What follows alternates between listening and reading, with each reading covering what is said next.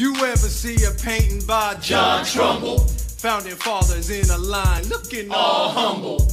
Patiently waiting to sign a declaration and start a nation. No sign of disagreement, not one grumble. The reality is messier and richer kids. The reality is not a pretty picture, kids. Every cabinet meeting is a full-on rumble.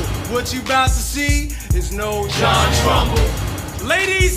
Ladies and gentlemen, you could have been anywhere in the world tonight, but you're here with us in New York City. Are you ready for a cabinet meeting?